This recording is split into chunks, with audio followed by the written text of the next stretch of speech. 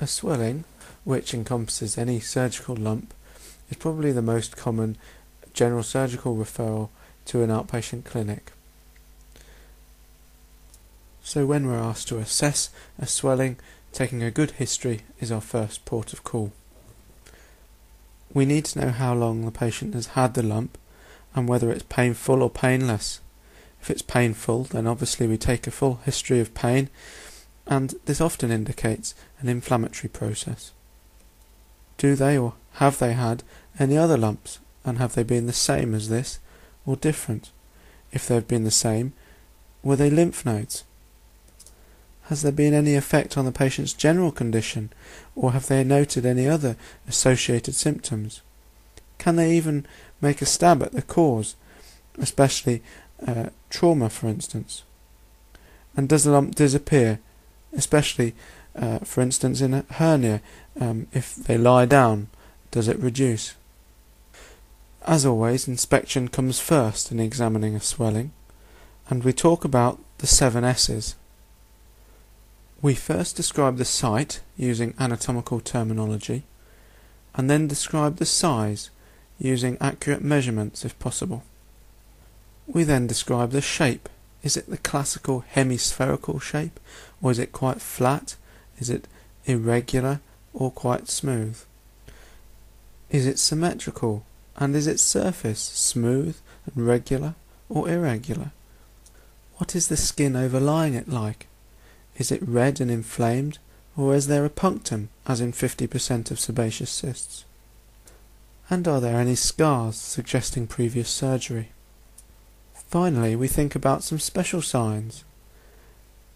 Does it obviously protrude when coughing, or raising their head off the bed? Does it move when they're swallowing, as in neck lumps, or protruding their tongue? And are there any pulsations? At last we're actually allowed to palpate the lump, but be sure to check the patient isn't in any pain first. And when first palpating the lump, let's just check for any tenderness. With the back of your hand, assess the temperature comparing with the skin surrounding it. And again, let's just assess the size and the surface, whether it's smooth or irregular. We can then move on to assessing the edge is it well defined or ill defined? An ill defined edge often suggests malignancy. We then think about the consistency of the swelling. Is it cystic or solid? And if it's solid, is it soft, firm, or hard? Never then forget the relationship of the swelling to the surrounding structures, which include skin, muscles, vessels, and many other structures. Then just think about the draining lymph nodes and any special signs. So as I've just mentioned, we need to decide whether the swelling is cystic or solid. A cystic swelling contains fluid, so this means if you poke it, it distends in another direction. This is known as fluctuance and is tested with Paget's test, which involves placing a finger either side of the swelling if the swelling is cystic, pushing the swelling in its center should displace the two fingers apart. We say that solid swellings can be either soft, firm, or hard, and we can relate this to the nose. The bridge of the nose is hard, the tip of the nose is cartilage, so it's firm, and the alar of the nose is just soft tissue and is obviously soft. Indurated is another descriptor of consistency and probably fits between hard and firm, and we often use this to describe tissue uh, that is inflamed and therefore indurated. When assessing the relationship of a lump to the skin, we need to ask two questions. Is the lump separate from the overlying skin, or is it tethered or fixed to the skin? If you're able to pinch the skin overlying the lump without moving the lump, then it is separate to the skin. When you try and move the lump independent to the skin, does it create a little dimple, suggesting tethering, or does it not move at all, suggesting fixation?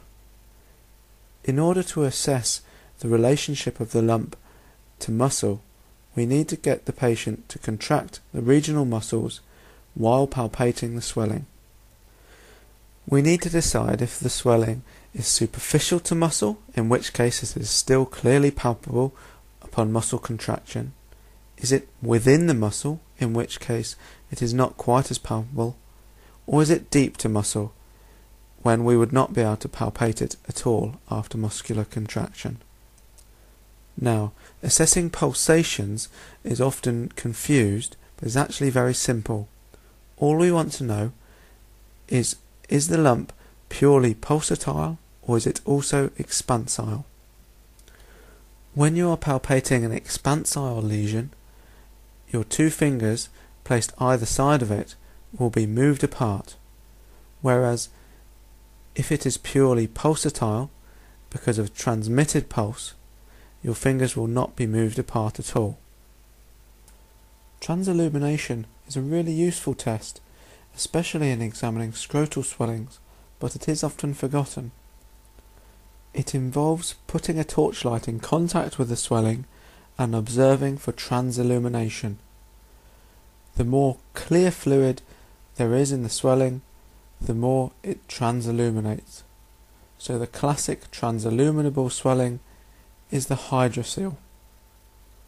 On the topic of special signs, I thought it important to discuss neck lumps, in particular thyroid swellings and thyroglossal cysts.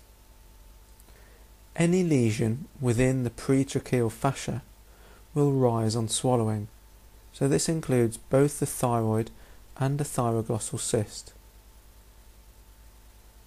So how can we tell the difference between these two midline structures?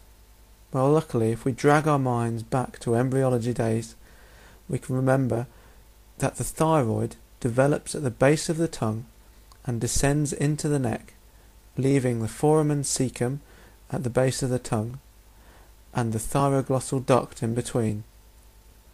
This thyroglossal duct normally obliterates, but if it doesn't, one can have a thyroglossal cyst. So the thyroglossal cyst is actually attached to the base of the tongue, so protruding the tongue should raise the thyroglossal cyst, but not the thyroid gland itself. And finally, on the topic of special signs on palpation, we need to consider hernias. So, does the mass have a cough impulse? and is it reducible? Well, at last we've reached percussion and auscultation. These don't matter so much in an examination of a swelling, but it is very important not to forget to percuss for a retrosternal goiter and also to auscultate, especially over arteries and pulsating masses. Well, well done for persevering on this. It's quite an important topic and I hope it's provided you with quite a good starting point.